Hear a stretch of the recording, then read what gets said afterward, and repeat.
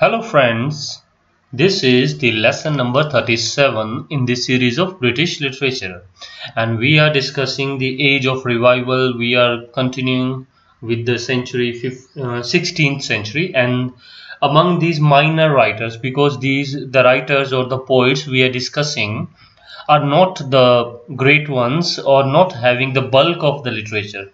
Uh, just a few things and just a few keynotes that we are making and uh, just trying to go through because these are not you, you will not see these writers commonly in university syllabus. So today in this lesson we shall be discussing Roger Ascham. Roger Ascham.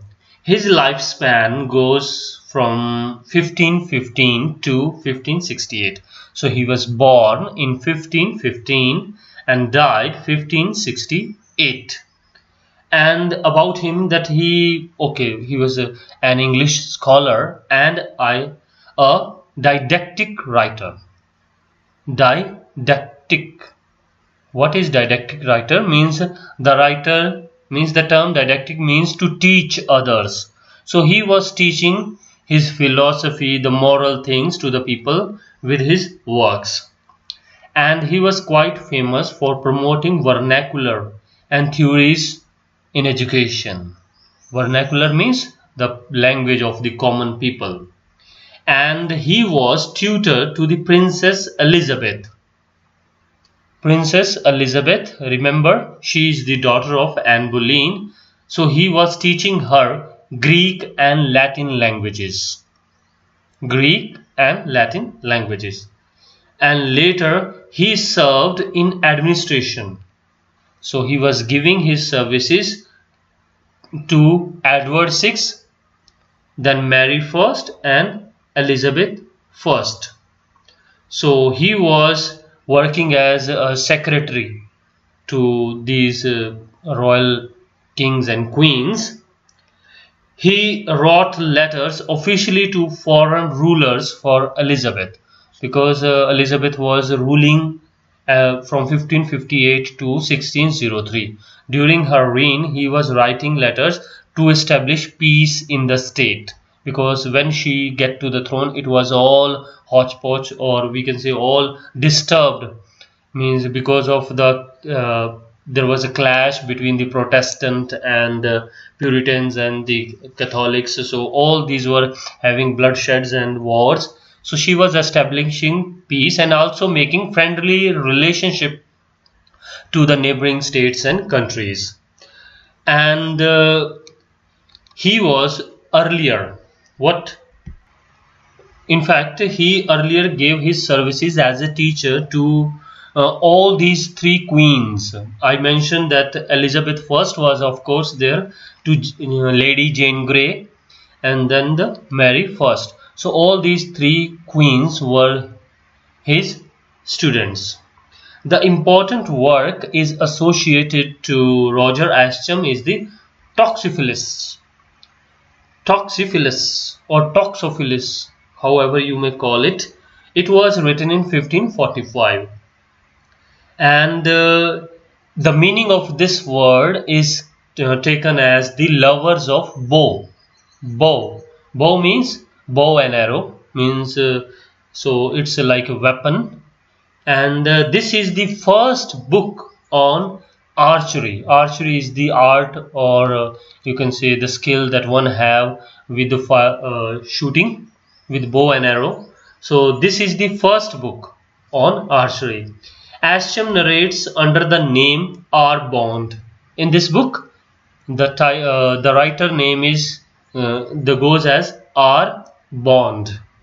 It was dedicated to the King Henry VIII. So in the earlier period, be before King died, it was published. You remember King Henry VIII died in 1547 and it was published in 45. So he dedicated this book to him. And there are some of the facts related to his writing or this work that he condemned he condemned the practice of shooting with long bow arrow. Uh, so there are two types of techniques. Uh, there is a crossbow and longbow so he condemned he criticized longbow and he also uh, talks about the style of poetry. And in the preface there is a point that writing English matter in English tongue for English men this is the line writing English matter in English tongue for English men. So these are the words written in preface. And one more point that this book contains the dialogue between the two characters. The name of these two characters are Toxophilus, the title character, and the other name is Philogus. Philogus. So these two characters are talking. Another work which was published posthumously means after his death the name of that work is Schoolmaster. Schoolmaster. It was published in 1570. This work is written in simple plain English and uh, it tells us about the effective methods of teaching of prose in Latin language. Teaching of prose in Latin language. In the introduction I told you that he worked or he wrote about teachings and education. So this is the work about education. And he discussed so many things about psychology of learning education of a person how it is important importance of education in one's life and uh, how it should be spread among the common people.